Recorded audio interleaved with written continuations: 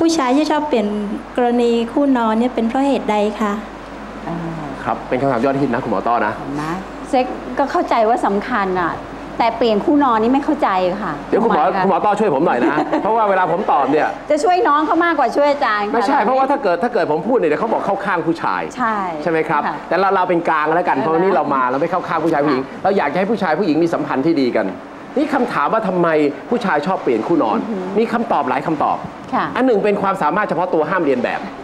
หรือไม่ควรเรียนแบบเพราะผู้หญิงไม่ชอบ ไม่ควรคบด้วยอ่าเพราะฉะนั้นเป็นเป็นลักษณะเฉพาะตัวบุคคลอ่าฮะนะครับค่ะลักษณะเฉพาะตัวบุคคล เพราะฉะนั้นน้องๆครับ จะมีแฟนก็ดูให้นานๆหน่อย ไอ้นิดๆหน่อยๆก็อย่าปล่อยมันไปบ้างนะครับเอ่อดูนานๆก่อนถึงจะได้ ทีนี้อะอะจบเรื่องนั้นไปค่ะเรื่องที่สองเนี่ยเป็นเอ่อปัญหาที่สัมพันธภาพที่ผู้หญิงหลาย ๆ คนไม่รู้นะครับ เพราะว่าเคยไปถามคนที่เขาเอ่อมีความประพฤติที่เขาเรียกว่าไปไปไปรักนอกนอกนอกนอกบ้านเนี่ยถามว่าทำไมเขาบอกภรรยาไม่รักผม แต่ความจริงแล้วเกิดความไม่เข้าใจกันค่ะนะครับเกิดความไม่เข้าใจกันว่า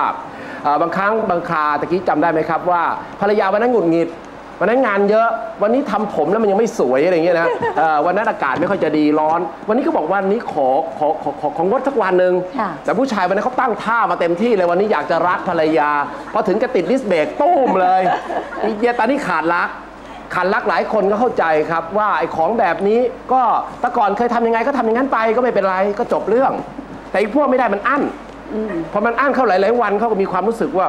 ถ้าจะไม่ไหวแฮะ มันกลับไปทีไรเธอก็บอกวันนี้เมนมา อีกวันปวดหัว อีกวันไข้ขึ้น อีกวันปวดท้องน้อย อีกวันตกขาวมา อีกวันแม่มาเยี่ยม สรุปมาแล้วว่าเดือนหนึ่งก็คุณอยู่คุณไปฉันก็อยู่ฉันไป ในที่สุดไอ้ความอัดอั้นตันใจ ก็เกิดไปเจออีกคนหนึ่งค่ะมันก็เปลี่ยนนะครับเพราะฉะนั้นเอ่อน้องๆผู้หญิงต้องจำไว้ครับว่าไอ้ของอะไรตามที่เขาจะเปลี่ยนเนี่ยนะครับ มันต้องมีฝ่ายผลักกับฝ่ายดึงนะครับ ถ้าเกิดว่ามีแต่ดึงอย่างเดียวเราไม่ผลักนี่ไม่ไป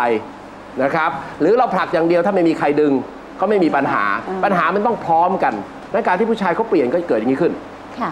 พอเกิดเปลี่ยนแล้วมันเกิดติดอกติดใจคุณหมอต้อ เพราะฉะนั้นเราจะต้องจำไว้อีกอย่างครับ นิสัยของผู้ชายนะครับ ผมไม่อยากบอกลึกซึ้งกว่านั้น ผู้ชายชอบอะไรที่แปลกใหม่เสมอ อันนี้อันนี้เป็นวงเล็บไว้ ผู้หญิงชอบอะไรที่เหมือนเดิม เวลามีอะไรบอกขอให้เหมือนเดิมทำไมเธอไม่เหมือนเดิม ส่วนผู้ชายชอบอะไรที่เปลี่ยนไปเรื่อยๆเพราะว่านินิสัยเขาครับ เอ่อชอบไปเที่ยวโน่นชอบไปเที่ยวนี่ชแล้อวบมันจะเจอกันไหมคะเนี่ย คนชอบอะไรเหมือนเดิมกับคนชอบเปลี่ยนเนี่ยเจอครึ่งทางสิ เจอกันตรงไหนดีเจอกันะ ครึ่งทางสิ